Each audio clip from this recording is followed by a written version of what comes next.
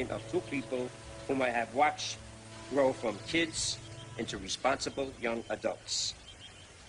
Love is a spiritual gift based on a foundation of trust. It is trust that will bind these two hearts. In the presence of God and family and friends, it is time we move forward. Wait. Excuse me, Father. I know this is a bit untraditional, but I would like to uh, take a moment to say something about my beautiful bride. it just can't wait.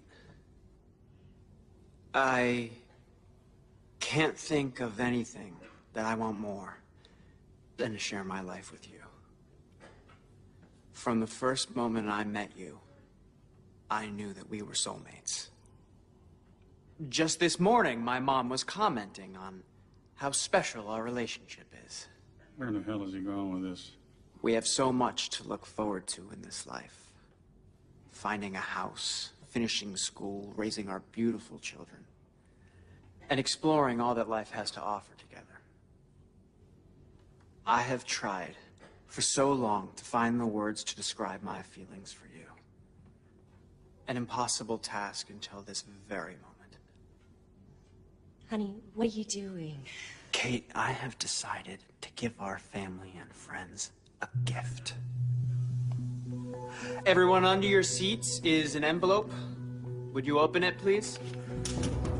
Under there, Kate, is a gift I want them all to have. Travis, here's one for you.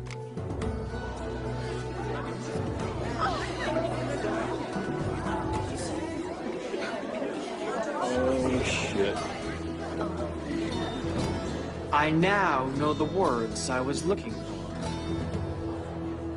Fuck you. And fuck you. Well, thank you everyone for coming. Please enjoy the rest of your evening, and the bar's open outside. I am off to my honeymoon. Thanks again. I'm sorry, Hunter.